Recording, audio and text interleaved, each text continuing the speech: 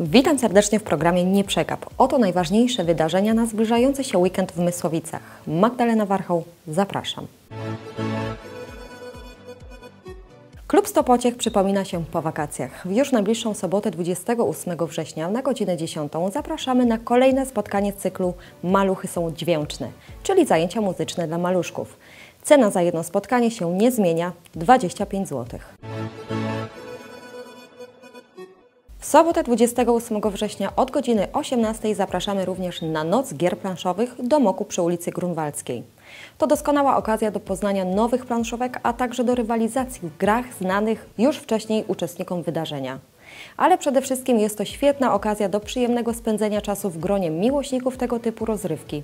Podczas nocy gier planszowych będziecie mogli zagrać w duże i czasochłonne gry, jak i w te mniejsze i szybsze.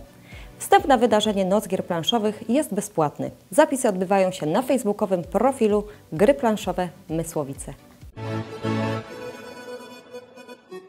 A w niedzielę 29 września przygotujcie się na brzmienie muzyki gospel, która ponownie wypełni mury kościoła ewangelicko-augsburskiego w Mysłowicach. Koncert, na który zapraszamy, będzie zwieńczeniem dwudniowych warsztatów gospel z udziałem gwiazd tego nurtu. Niedzielny koncert rozpocznie się o godzinie 18, a wstęp jest wolny.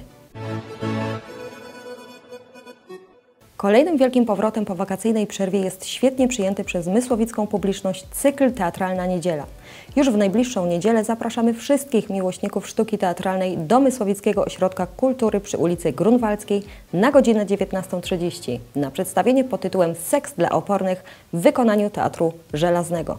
Pamiętajcie, że nadal obowiązuje nasz system zniżkowy karnet teatralnego aktywisty. Bilety w cenie 30 zł do nabycia w kasie Mysłowickiego Ośrodka Kultury przy ulicy Grunwaldzkiej.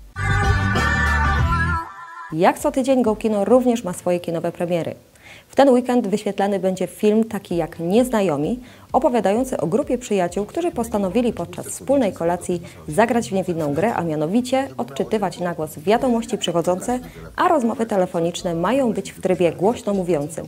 Szybko okazuje się, że każdy z uczestników gry skrywa sekrety, którymi wolałby się jednak z nikim nie dzielić. Boicie się. Czego? Właśnie, przecież nie mam nic do ukrycia. Przedpremierowo zapraszamy również na drugą część filmu Był sobie pies. To amerykański komediodramat. Scenariusz produkcji powstał na podstawie powieści o tym samym tytule autorstwa Williama Bruce'a Camerona. Obraz kontynuuje wydarzenia z poprzedniej części serii Był sobie pies, która trafiła na duży ekran w 2017 roku. I piesiu na pi. Hmm, nie umiem pić powietrza. Uwielbiam poranki z naszą wnuczką. Ja też. Głównie dlatego, że daje mi boczuś. Pozwalacie jej się kąpać tym brudnym psiskiem? Po prostu się bawią. O, mama CJ też chce się bawić. Albo i nie. Oglądaliście Nie Przegap. Dziękuję bardzo i do zobaczenia w przyszłym tygodniu.